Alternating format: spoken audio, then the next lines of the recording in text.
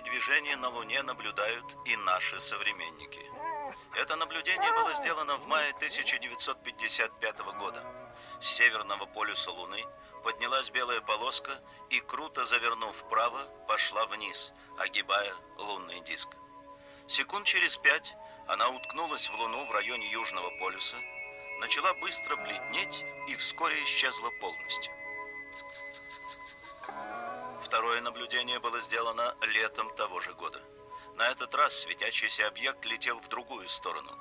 За несколько секунд, пролетев треть окружности, он по крутой траектории опустился на лунную поверхность. Тело было достаточно большое и как будто управляемое. Иногда на фоне яркой луны в телескоп наблюдают полеты огромных темных объектов, причем по весьма замысловатым траекториям. Вот любопытное наблюдение, сделанное в 1992 году. Представьте себе, что вы видите некий квадратный объект, который движется довольно медленно и совершает зигзагообразные движения. Он сначала летит немного вверх, потом летит немного вниз, потом делает петлю и скрывается в одном из кратеров. Я не могу сказать точно.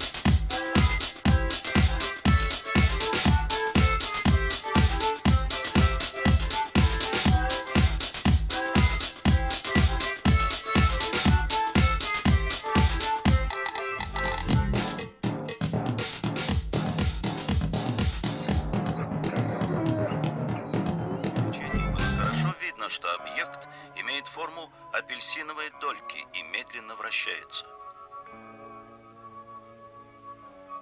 Астроном успел сделать несколько снимков.